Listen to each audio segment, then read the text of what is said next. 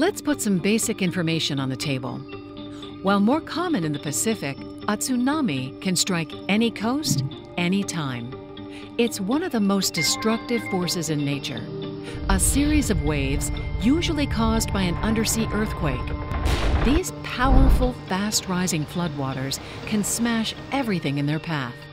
Even small tsunamis can be dangerous, especially to swimmers, surfers, and boats in harbors. But there are ways you can prepare. First, understand the warnings. If an official warning is issued, do what it says. Just as important, pay attention to warnings Mother Nature provides. You may feel a strong or long earthquake. You may see the ocean suddenly rise or fall, or hear a loud roar. If you experience any of these, a tsunami could be coming. Protect yourself.